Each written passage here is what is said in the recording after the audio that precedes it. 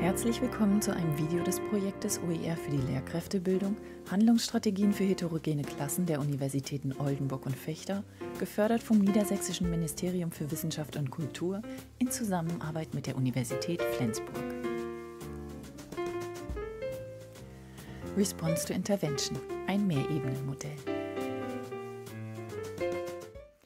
Inhalt und Ziele des Videos.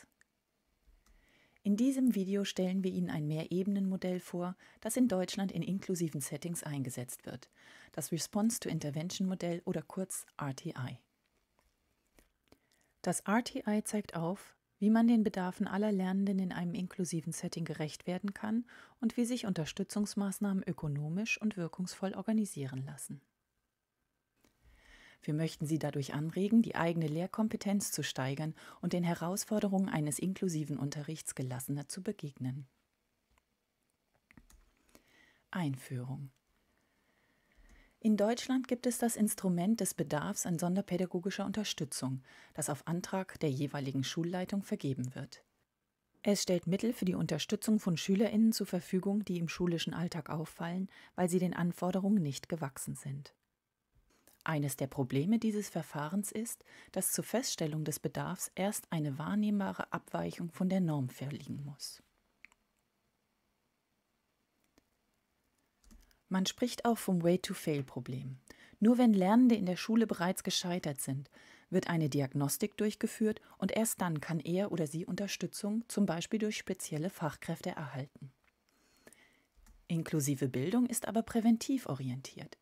Statt zu warten, bis Lernende an schulischen Anforderungen scheitern, werden ihre Stärken und Schwächen von Anfang an ermittelt und begleitet, um ein Versagen direkt im Vorfeld abzufangen. Um dies konsequent umzusetzen, braucht es den Aufbau eines präventiven Systems, das auf verschiedenen Pfeilern ruht. Evidenzbasierte Verfahren, die im Rahmen des Standard Treatment Protocol zum Einsatz kommen, helfen, wirkungsvolle Maßnahmen zu identifizieren, um damit Qualität und Effektivität von Unterstützung im Sinne eines wirkungsvollen Unterrichts zu erhöhen. Unterricht ist ein komplexes, anspruchsvolles Geschehen, das durch Inklusion zusätzlich beansprucht wird. In Teams zur kooperativen Unterstützung, sogenannten Problem-Solving-Teams, arbeiten Lehrkräfte und Spezialisten zusammen, um dieser Aufgabe effektiver begegnen zu können. Dabei erhalten sie eine Rahmung durch den Einsatz von präventiven Mehrebenenmodellen. Diese in den USA für inklusive Settings entwickelten Modelle sind in verschiedenen Ebenen der Unterstützung organisiert. Diese werden auch als Stufen bezeichnet. Auf der Basis von Lern- und Entwicklungsverlaufsdiagnostik werden geeignete Fördermaßnahmen ausgewählt, mit dem Ziel, Schwierigkeiten zu mindern oder sogar zu verhindern. Ein in Deutschland weit verbreitetes Mehrebenenmodell ist das Response-to-Intervention-Modell, kurz RTI, das hier näher dargestellt werden soll. Das RTI kann als Rahmenmodell verstanden werden, das Richtlinien für die stufenorientierte Durchführung von inklusivem Unterricht anbietet. Die unterschiedlichen Lernangebote innerhalb der Stufen werden dabei ständig auf ihre Wirksamkeit überprüft, indem man die Lernentwicklung der Schülerinnen verfolgt. Dabei wird eine Zuordnung zu den verschiedenen Stufen eher temporär als permanent angesehen. Dem zugrunde liegt der präventive Grundgedanke, dass eine effektive Begleitung der Lernenden Risikofaktoren möglichst frühzeitig erkennt und durch geeignete Maßnahmen einen ungünstigen Verlauf abmildern oder sogar verhindern kann. Die einzelnen Stufen unterscheiden sich im Hinblick auf die Größe der Instruktionsgruppe und die Häufigkeit sowie die Intensität von Förderung und Verlaufsdiagnostik. Es kommen unterschiedliche Organisationsformen wie Klassenunterricht, Fördergruppen oder Einzelbetreuung zum Einsatz, wobei die Übergänge fließend sein können und sich den Bedarfen der Lernenden sowie den Rahmenbedingungen anpassen. Die einzelnen Stufen sehen wie folgt aus. Stufe 1 auf dieser Stufe werden durch die Klassenlehrkraft Angebote für alle Schülerinnen einer Klasse gemacht. Die Maßnahmen dieser Stufe zielen auf einen differenzierten und lernwirksamen Regelunterricht ab. Dafür werden evidenzbasierte Verfahren eingesetzt, also Verfahren, deren Wirksamkeit bereits in Studien überprüft und gezeigt werden konnte. Beispiele für solche Verfahren sind ein gutes Classroom-Management oder ein geeignetes Feedback, für die übrigens eigene Videos in diesem Projekt zur Verfügung stehen. Bereits in dieser ersten Stufe findet ein systematisches Monitoring der Lern- und Entwicklungsverläufe durch regelmäßige, standardisierte und ökonomische Diagnostik aller Lernenden statt. Diese wird zum Beispiel dreimal pro Schuljahr durchgeführt. Für SchülerInnen, bei denen Schwierigkeiten identifiziert werden, wird bereits jetzt zusätzlich mit einer Lernverlaufsdiagnostik begonnen. Den meisten Lernenden bietet der so gestaltete Regelunterricht auf Stufe 1 eine gute Möglichkeit, sich zu entwickeln und ihr Potenzial zu entfalten. Eine Gruppe von Kindern benötigt jedoch mehr Unterstützung. Die Maßnahmen aus dieser Stufe sind für sie nicht ausreichend. Sie erhalten weitergehende Angebote aus Stufe 2, der Stufe der intensiven Förderung. Dies betrifft etwa 20 Prozent aller Kinder. Für sie wird in dieser Stufe die Unterstützung intensiviert und es werden standardisierte Problemlösekonzepte vermittelt. Dies kann in Kleingruppen durch die Klassenlehrkraft erfolgen, andere Varianten sind aber ebenfalls möglich. SchülerInnen, die Maßnahme aus dieser Stufe erhalten, werden engmaschig begleitet und auch die Lernverlaufsdiagnostik wird häufiger, zum Beispiel ein- bis zweimal wöchentlich durchgeführt. Zeigen die Lernenden eine positive Reaktion auf die Maßnahmen, werden diese beendet und die Lernenden werden wieder nach Stufe 1 gefördert.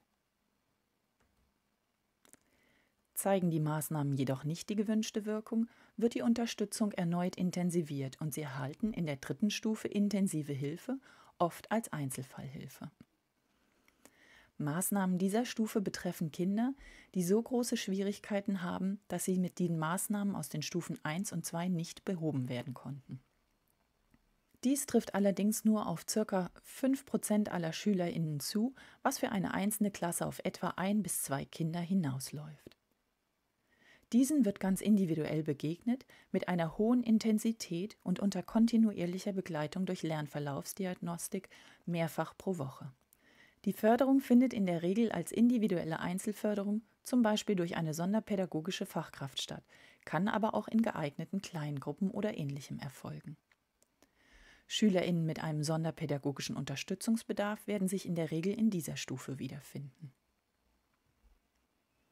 Vorteile des Modells SchülerInnen, die Förderung nach Stufe 2 oder 3 erhalten, bleiben zu großen Teilen im Klassenverband integriert und nehmen weiterhin am Unterrichtsangebot nach Stufe 1 teil. Die Kinder oder Jugendlichen erleben von Anfang an, dass alle in ihrem Umfeld unterschiedliche Lernausgangslagen haben und individuelle Unterstützungsangebote bekommen. Sie können in unterschiedlichen Lernfeldern auf verschiedenen Stufen eingeordnet sein und die zusätzlichen Angebote verstehen sich eher temporär als dauerhaft. Dadurch und durch eine geeignete Kommunikation durch die Klassenlehrkraft wird einer Etikettierung und einem Ausschluss aus der Klassengemeinschaft vorgebeugt. Daher wirkt dieses Vorgehen nicht so stigmatisierend und exkludierend, wie es bei einem Verfahren eines sonderpädagogischen Unterstützungsbedarfs der Fall sein kann. Die Wechsel zwischen den verschiedenen Stufen sind abhängig von der Wirksamkeit der Maßnahmen, daher auch der Name Response to Intervention. Wird eine erfolgreiche Förderung festgestellt, wechseln die Schülerinnen zurück in die untere Stufe. Hatten die Maßnahmen keinen Erfolg, werden diese überprüft und gegebenenfalls durch andere ersetzt oder es erfolgt ein Wechsel in eine höhere Stufe. Die Entscheidung über einen Wechsel kann auf verschiedene Arten getroffen werden. Im Rahmen des Standard Treatment Protocol werden lern- und entwicklungsbegleitende Diagnostik oder curriculumbasiertes Messen eingesetzt. Alle Kinder werden auf bestimmte Fähigkeiten hin überprüft. Kinder mit ähnlichen Ergebnissen erhalten dann die gleichen zuvor festgelegten Fördermaßnahmen. Beim Collaborative Problem Solving erfolgt eine Beurteilung für risikobelastete Schülerinnen hingegen individuell. Ein Expertinnenteam entscheidet gemeinsam mit der Lehrkraft der allgemeinen Schule und auf Grundlage zuvor ermittelter Leistungs- und Entwicklungsdaten, ob ein Stufenwechsel stattfinden soll und entwickelt gegebenenfalls einen entsprechenden individuellen Förderplan. Die Auswahl des Verfahrens wird durch die jeweilige Situation und deren Gegebenheiten bestimmt. Abschließende Bemerkungen. Das RTI hebt sich von anderen Mehrebenenmodellen ab, weil es großen Wert auf die Dokumentation der Lern- und Unterstützungsprozesse legt. Die damit gewonnene Transparenz dient der Objektivität und hilft, die wirksamsten Fördermöglichkeiten für alle SchülerInnen zu finden. Dabei wurden Mehrebenenmodelle wie das RTI als eine der wirksamsten Vorgehensweise des Lehrkräftehandelns identifiziert, denn es konnte gezeigt werden, dass die Entstehung und Verfestigung von Lern- und Entwicklungsstörungen vermindert oder sogar verhindert werden können. Unsere Empfehlung das Rügener Interventionsmodell ist eine Umsetzung des RTI im Rahmen eines Modellprojektes und zeigt eben solche Effekte. Ausführliche Informationen und Umsetzungen für den Bereich Deutsch und Mathematik sowie Verhalten und Sprache bis hin zu konkreten Arbeitsmaterialien finden sich unter dem angegebenen Link. Unser Fazit. Inklusive Bildung verlangt eine individuelle Begleitung aller Lernenden. Mehrebenenmodelle wie das RTI helfen Lehrkräften, die Lernenden individuell wahrzunehmen und dennoch weitestgehend gemeinsam zu fördern. Die kontinuierliche Begleitung des Lernprozesses ermöglicht die frühzeitige Identifikation von Risikofaktoren. Diese können dadurch präventiv vermindert oder sogar verhindert werden. Die Lehrkraft kann dabei auf die Unterstützung von spezialisierten Fachkräften zurückgreifen.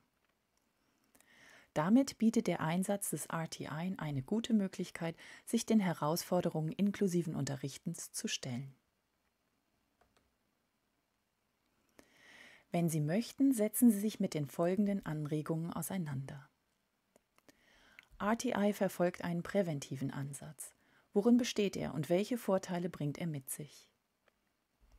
Worin unterscheiden sich die verschiedenen Stufen des RTI? Stellen Sie sich eine Unterrichtssituation vor und beschreiben Sie, wie die einzelnen Stufen konkret umgesetzt werden könnten. Wenn Ihnen das Video gefallen hat, empfehlen Sie es gerne weiter. Aktuelle Informationen zu diesem Video, Literaturangaben und weiteren Materialien aus diesem Projekt finden Sie unter dem angegebenen Link oder bei twillo.de unter dem Stichwort OER Lehrkräftebildung. Lizenzhinweise. Dieses Video wurde unter einer Creative Commons Lizenz veröffentlicht und ist zur Weiternutzung freigegeben. Die genauen Bedingungen entnehmen Sie bitte dieser Ansicht.